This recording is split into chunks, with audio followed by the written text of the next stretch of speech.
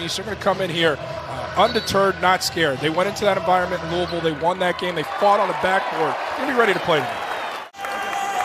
All four by double digits. Dawson Garcia, the Marquette transfer from the outside. Five players on the team who average at least 11 a game. Four of the starters except for Black. And then Brady Manek, the OU transfer off the bench. For this program is to get to the NCAA tournament. They finished top three in the Showtime five years in a row as Garcia has the first five for the Heels. Bothwell looking to Hunter who kicks it out to Marcus Foster. It doesn't go. Furman, two shots, two threes, both misses. Garcia down low, and he's got himself a 7-0 run. And Bob Richey wants a timeout for Furman.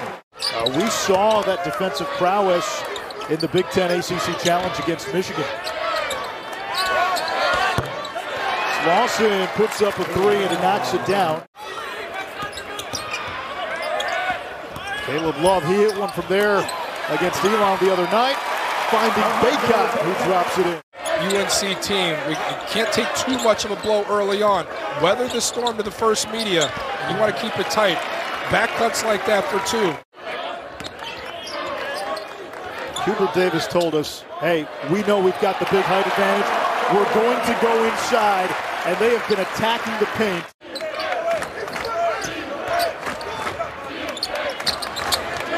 Slawson from the outside, his second three. Point shot, the ability to bang down two of them for Furman. They are still within striking. Davis can't get the roll. Rebound Garcia through traffic. The offensive rebound and putback. This is Hien working on Garcia. Big size disadvantage. for a YMCA move.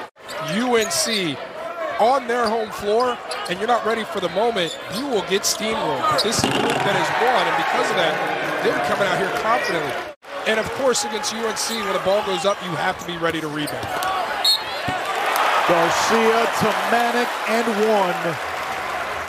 Well, what you're seeing here is an offensive rebound grab, and it's just pure size. 6'8 kicks it over to 6'11 and goes down low to 6'9. The game plan has worked almost to a T for UNC, but they have to be able to stop the three and take away some of the penetration as well. Hunter over Love.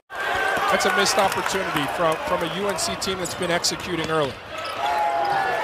Furman in transition, and it's a two-point game. All that stirs the drink, Alex Hunter bangs down the baseline three. And then in transition, you got to get back and communicate. Love working on Joe Anderson, now picked up on the switch.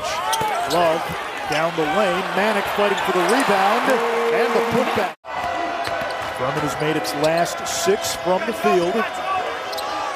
Slawson backing down Garcia and make it seven in a row for the Paladins.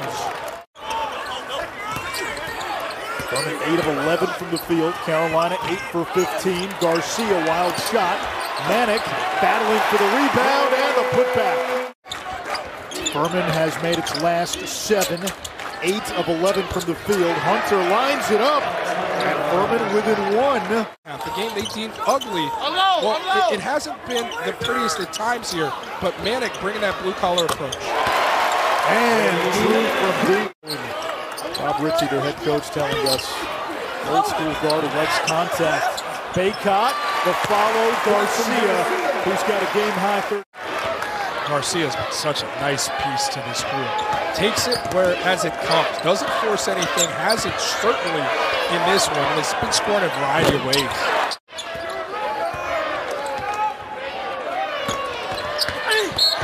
Hunter and one. Thursday at 7, it's App State and number two Duke. Blue Devils playing South Carolina State tonight. That's their first game. One point game. Less than five minutes to go here in this first half. Love, step back. It's good.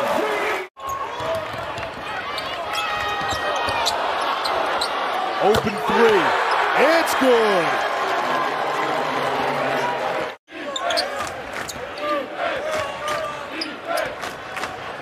Hunter for the lead. It's good. 17 in his homecoming in this first half for Alex Hunter. Davis picked up by Slawson. Entry pass, Garcia looking for Leaky Black. To deliver once he fielded the double team. Bothwell, his first basket. Leaky Black has more or less pocketed that three-point shot this season. Only two attempts. Garcia, swish, 18, a game high for Dawson Garcia. Tar Heels got a look up close at Garcia last year when they lost to Marquette. And Garcia had 24 and 11.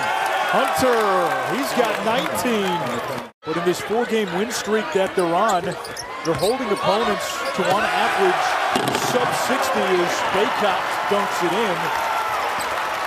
Conditioning, uh, the mental fatigue sets in. You know you're fighting through screens, a lot of movement, and any daylight they're going to get a three. How about Armando Bacot? How you do it. These guards don't want to give you the basketball. Sometimes you got to make them do it. Leaky Black, so repeatedly he finally pulls the trigger. Bacot has provided the juice. Those two plays got the guys lifted and created a spark here in the second stanza.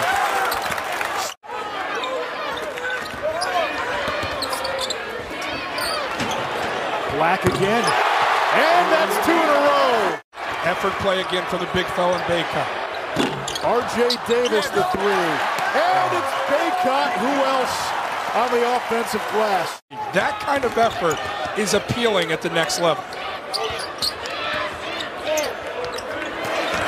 Bacot down low.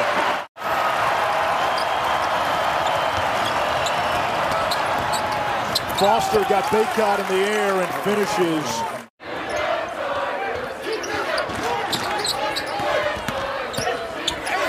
Davis pretzels inside for two. Showing true maturity, not taking what's available beyond the arc, but forcing the issue to attack the rim, understanding they will not be met with resistance.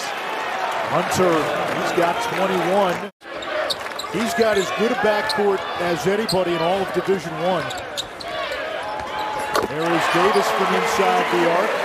Who's a UNC alum mentioned Charlie Scott's 73rd birthday is tomorrow. So, Charlie, wow. happy birthday to you and a uh, big time thank you for all you've done for the game. You know, all the Riddler sized question marks afterwards.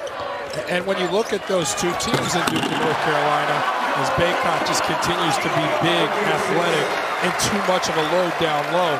The other guys are hovering around 30. Now, look, the three point line isn't the end all be all. I still think Duke is one of the two best teams right now in the country. I look at them and I look at Baylor as my two favorite teams.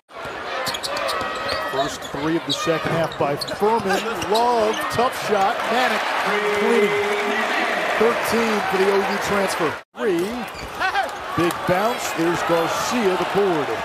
Now you're getting good looks from three, and your confidence is completely waned. And UNC is going to wait. Dawson Garcia really got things started early for UNC, and then it was Armando Bacot, one of the other bigs, who set the tone on both ends of the floor early in that second half. In four straight games. And a two to one assist to turnover ratio for Love. You'll live with, you'll live in love. Graeter's ice cream, on the other hand, I will give you that one. One out of two ain't bad. Isn't that what Milo said? In the Big Ten ACC Challenge. Yeah, and defense was their Achilles heel. So a, a group that wants to be great improves and works it. But you know what that helps? You're going to get better in practice when you're that deep. Your first five going against your second five, you're going to challenge each other. This group can only get better and enriched in practice. That's massive.